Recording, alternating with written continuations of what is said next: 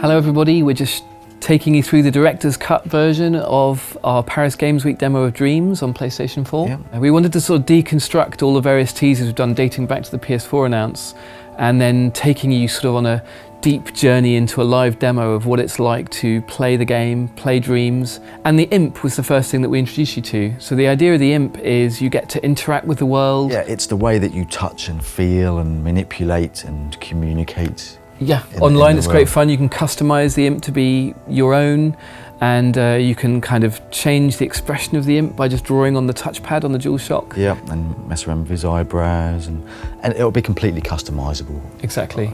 So it's so you can make it your unique mascot, if you like. And the thing about dreams that we showed in the in this demo is that there's many kinds of gameplay. So different dreams have different rules. So the author of a dream gets to set Or the dreamer of a dream. the dreamer of a dream gets to say what the rules are. And in this opening sequence, um, it's a very tactile feeling thing. You get to basically move things around using the imp.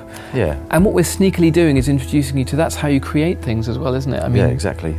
It's a cursor. It's a glorified It's a very cursor. posh, fluffy, squishy cursor.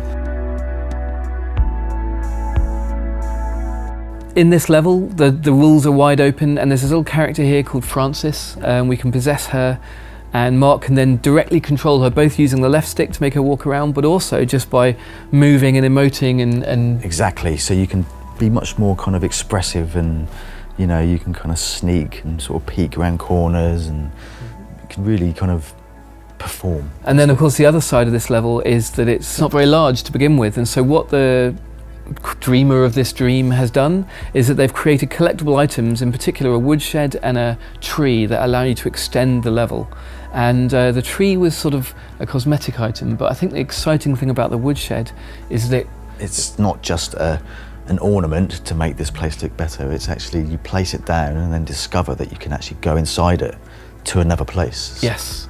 So this was the first introduction, the demonstration of something we call, well, we currently call them links to kind of remind you of what it might be on the web to move from website to website. But the thing is that when you do that in dreams, it's so much more magical because it's it's like traveling through a portal or a doorway.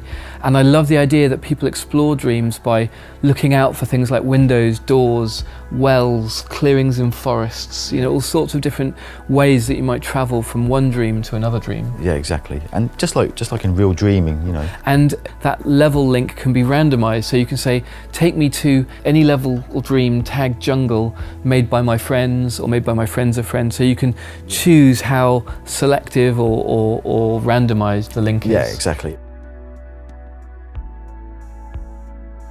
this level is a much more traditional kind of puzzle platformer type of level.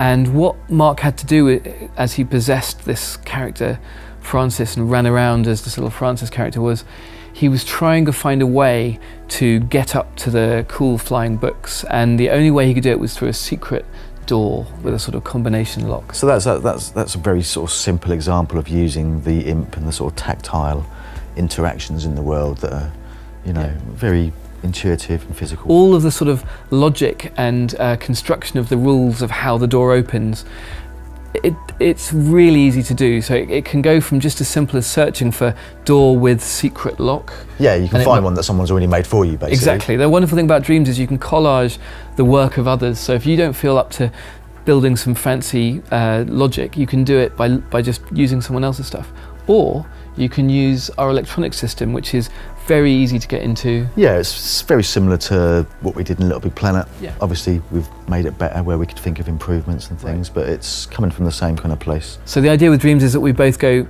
easier to use if you just want to use someone else's things and also deeper. So it's kind of like tackling both sides. Anyway, so you go through the door that you found and you find yourself in this gigantic kind of auditorium-y strange place, too big to climb up yourself. But luckily there's a giant just hanging out, having a snooze. And this is this is to sort of sow the seed in people's minds, hopefully that you know the the range of kind of characters that you can create in this is is infinite, essentially. Exactly. So many games have customization of characters, but we actually have creation of characters. You can build characters from scratch, or you can customize others that you find, whether it's part of the gameplay experience or part of the creative experience. We're sort of mashing those two together. So we don't really draw a hard line between when you're playing or when you're creating. You're just having fun. Yeah. And character creation and customization is one of the most fun things to do because you just mess around with it. You change its proportions, long legs, short Well, legs. Yeah, exactly. I mean, uh, I think Kareem, our art director, would, would agree with me that 90% of character design is just the proportions, really. Right, yeah. So very quickly, just by stretching a, a, a biped around, you've kind of got most of your character, and then you can immediately Play that you've got this character. really when you're creating a character, you've got this really nice tight loop of like sculpting a bit on it, then seeing what it walks like, adjusting it. It's it's, it's really good fun. And actually, that leads us into the, the sort of climax of our Paris demo, was going into that depth of playing and creating even more so when you go online. Because when when people join you in your level you don't all have to be doing a platform mechanic. In this case cake world.